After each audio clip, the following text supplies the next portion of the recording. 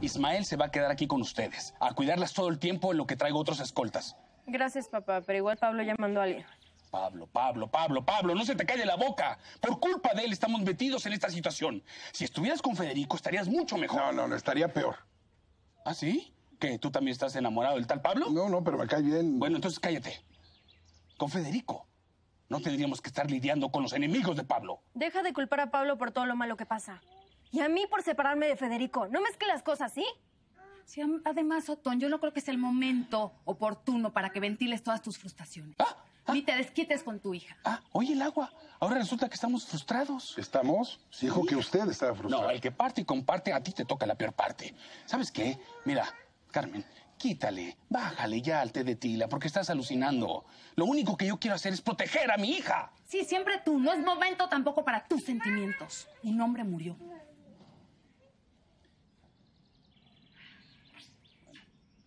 Ahí te encargo. Ahí te encargo, yo me voy.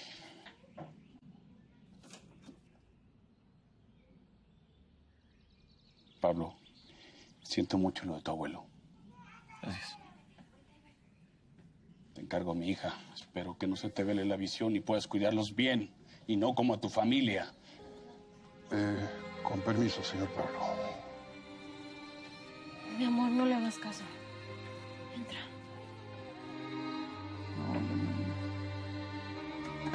Está triste. Vete. Ven, vamos a lavarnos las manos, ¿sí? Para comer algo. ¿Cómo están las cosas en casa de tu mamá, mi amor? Mal. Mal, pero como decía el abuelo, ahí hay que enfrentar las llamas y atravesarlas. ¿Tú cómo estás? Tengo mucho miedo de lo que pueda hacer Néstor. Es que no entiendo cómo pudo ese desgraciado salir de la cárcel. Mi amor, te prometo que a ti y a Bernarda nada les va a pasar. No lo voy a permitir. Yo no quiero que te pase nada a ti. Todos vamos a estar bien. Ya reforzamos la seguridad de la casa y contratamos elementos nuevos para que se encarguen de cuidarlas a ustedes y a la casa. ¿Se sabe algo de Néstor? Todavía no. Entonces ese demente anda suelto. No puedo creer. No se preocupe, señorita, todo está bajo control. Lo único que pedimos es su colaboración para que no se separen de nosotros y por favor cuando vayan a salir avisen con anticipación, ¿sí? Pero lo que yo no entiendo es cómo pudieron soltarlo de la cárcel a semejante loco. Ver, mantengamos la calma. Hay que estar alertas, pero mantengamos la calma. Sabemos que ese tipo puede hacer cualquier cosa. Bueno, lamentablemente es así. Néstor, yo lo conozco muy bien y está loquito, ¿eh?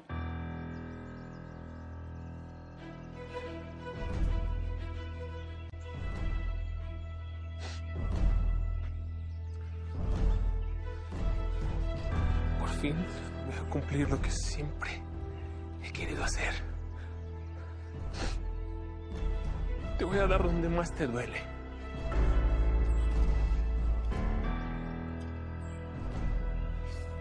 Tu familia perfecta.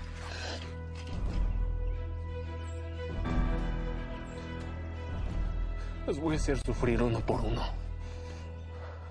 Todos se van a revolcar en el infierno contigo. Y van a saber que el culpable de todo eso eres tú. Eres tú, porque tú me abandonaste. Me abandonaste cuando más necesité de ti, cuando no te hiciste cargo de mí, ¿verdad?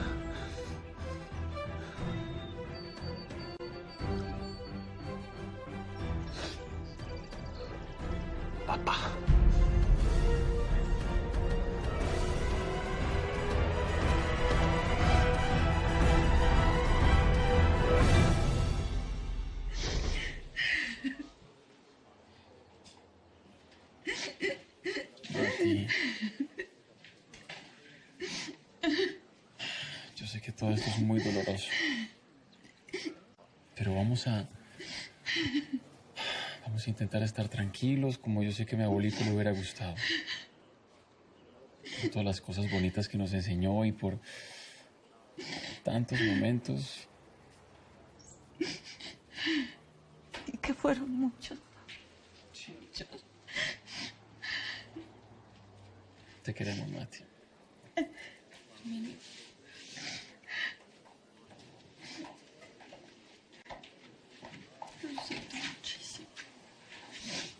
Gracias, sí.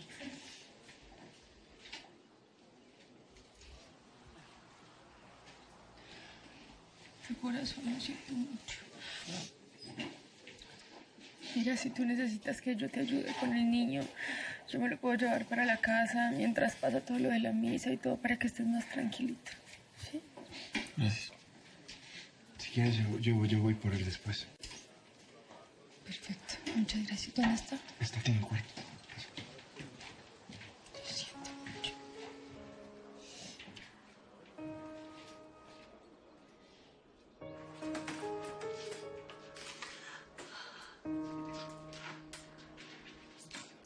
¿Necesitas algo?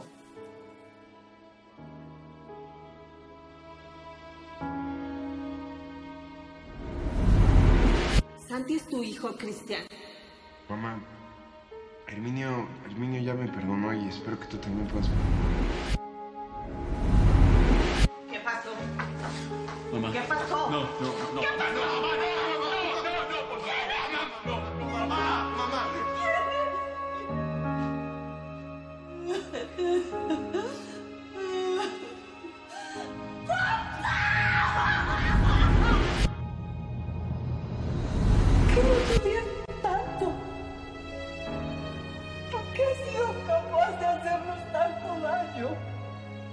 No sé, mamá, ese tipo está loco. Piensa que, que es hijo de mi papá. Todo esto es demasiado. Nunca pensé que iba a ser tan doloroso. Mamá, mamá, ¿estás bien? Yo creo que te voy a llevar con un médico para que te dé un calmante. ¿sí? No, no, no, no, no, no, no, ningún médico, ningún calmante. Yo tengo que estar con mi No, sí te voy a llevar. Yo la llevo Tranquila, tranquila. ya. Tenemos que seguir investigando todo lo de Odell y su hijo. Pues sí, tenemos que tener muy claro quién es el papá de esa bestia de Néstor.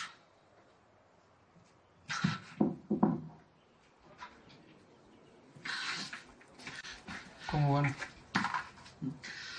Ya sé, podemos ir al hospital donde murió Odell y ver si sabe algo. Pues hay que hacer lo que sea, con tal de, de que ese maldito pague por lo que hizo. Sí, yo, yo voy con ustedes, sí.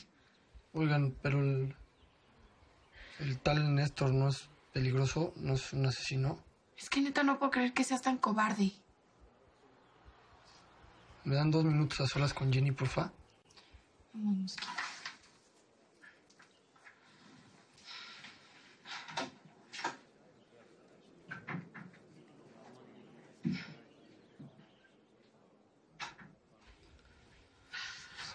Jenny, ¿por qué me estás tratando así?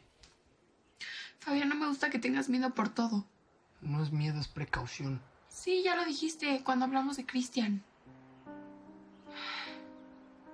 Oye, y bueno, est- estuve muy confundido y la neta, pues no, no sé qué onda. No sé si me cortaste o, o no.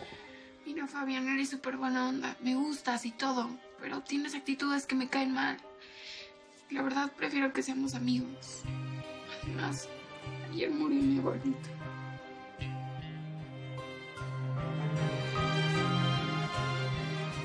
Creo que estuvo muy bien que el doctor te diera estos calmantes, ¿no? Sí, sí, sí.